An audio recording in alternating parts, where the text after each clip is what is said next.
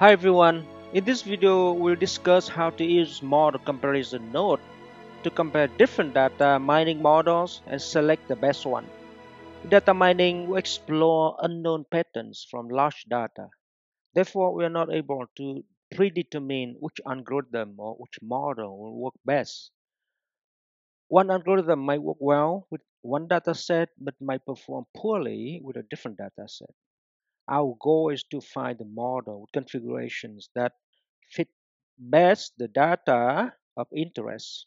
Accordingly, it's a common practice to develop multiple models with different methods and different configurations. Then we compare and select the best one, also called the champion model. Since the purpose of data mining is to develop the best predictive model, the champion model is usually the model with the best performance based on goodness of fit criteria. Note that it is only the champion model among the developed models we train with the given data. There is still a chance that the champion model does not have the expected predictive power. Hence, we will have to evaluate the champion model and decide whether further adjustments are needed or additional models should be trained. In other videos, we have built four different models. Regression, regression with transform variables, decision tree with two branches, and decision tree with three branches. Now we can compare them to determine a champion model that we will use to score new data. Typically, we perform the following task. First, we compare models and select a champion model that, according to an evaluation criterion, performs best in the validation data.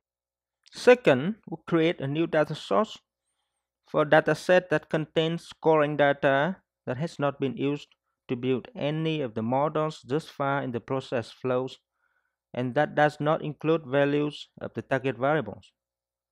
Then we score this data using the champion model. Finally, we write SAS code to output based on the score data so the decision maker can use to predict the target variable. In this course, we'll focus on step 1, which is to select the champion model. This is also the main purpose of academic research in data mining.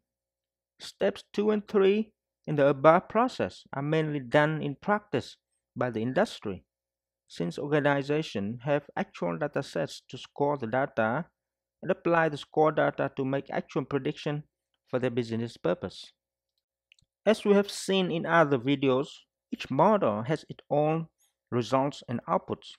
To compare them manually or using Excel spreadsheet is very time consuming.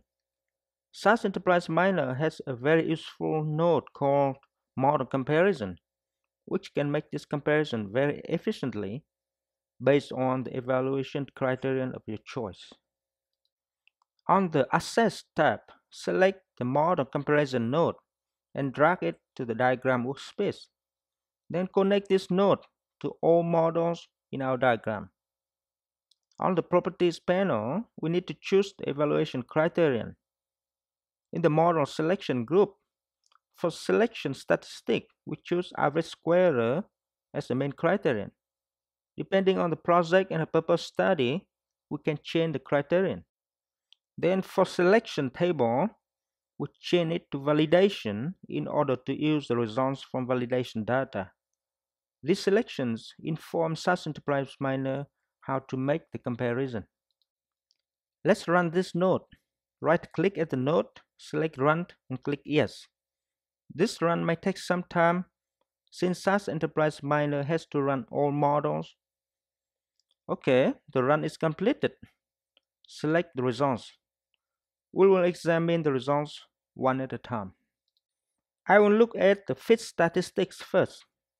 We have four models and they are all ranked by ASE based on the results of validation data. The ASE numbers are very close, but you can see that regression model using transform variables has the lowest ASE, followed by regression model. Decision tree with two branches, and decision tree with three branches. But none of these models actually stand out from others. If we look at the misclassification rate, we see a little difference. The regression model is the best one, followed by regression with transform variables, decision tree with three branches, and decision tree with two branches. Next, we will look at RC charts for all models. We have discussed the meaning of RC charts in the decision tree video. In this video, we will use it to identify the best model. Again, the straight diagonal line is the baseline. The larger the area between the RC chart of the model being evaluated and the diagonal line, the better the model.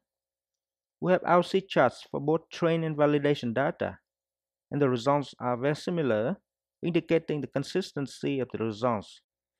The RC charts of these four models are very close, so it is not easy to identify the best one based on the charts. If we select the model, SAS Enterprise Miner will highlight the chart for that model. You can see that the regression model with transform variables is slightly better than others. The cumulative charts also show very close results. If we look at the lift charts for validation data, the regression model with transform variables has a little higher lift value than other models at 20% of respondents. And the decision tree with three branches has the lowest lift value. As you can see, one criterion cannot decisively tell us which model is a champion model since those criteria use different approaches to evaluate the model goodness of fit. In order to determine the champion model, we need to look at all criteria to ensure the choice. We need to start with misclassification rate or ASE to evaluate the overall accuracy. Why I do not show them here, you want to compare the sensitivity and specificity for all models as well. Then we need to review the RC charts and lift charts and compare the models. If all criteria show the consistent results, then we can decide the champion model. If not, we need to see which model performs best among those criteria. In our example, we do not have the same results from all criteria. However, the regression with transform variables seems to come up on top in multiple criteria, so we can pick it as a champion model. In reality, if we have several models that perform comparably well, we might want to select all of them. Then we run them with a separate dataset, the test sample, to see which one is more generalizable. That is how to use the model comparison node. Thank you and bye now.